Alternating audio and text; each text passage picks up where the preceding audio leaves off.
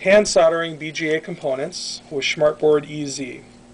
You may say it's impossible to hand solder BGA, and until very recently we would have agreed with you. But with the SchmartBoard EZ you can now hand solder BGA components. The SchmartBoard EZ is designed in a way where the balls on the bottom of the BGA fit into place. So the first thing you want to do is figure out exactly where you want to place your component. And then you're going to take some paste flux. And we highly recommend that you use paste flux rather than liquid flux for this application. And put the paste flux down on the surface. And then you're going to put your chip down. And then what you need to do is tape it down very securely, very snugly.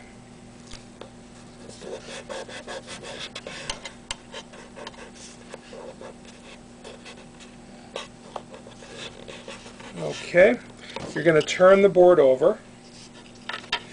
And what you're going to see there are basically pass-through vias. And you're going to want to put some more paste flux down on this side. And then you're going to take a hot iron. We've got ours set at 800 degrees. And you're going to take some external solder.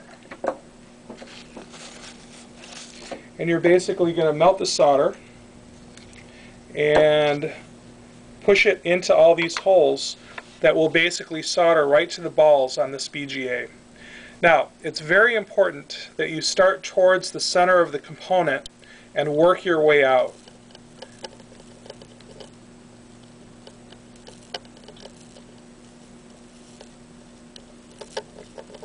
The boards we have today will go up to components with 400 balls.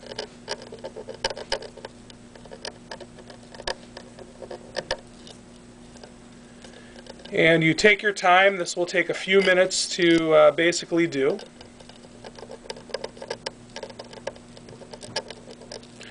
And after you finish it and you test it, uh, if you find out that maybe there's an area you missed, you're going to reflux the area that you missed and you're going to come back and you're going to just focus with a little bit of solder on the particular holes that you might have missed.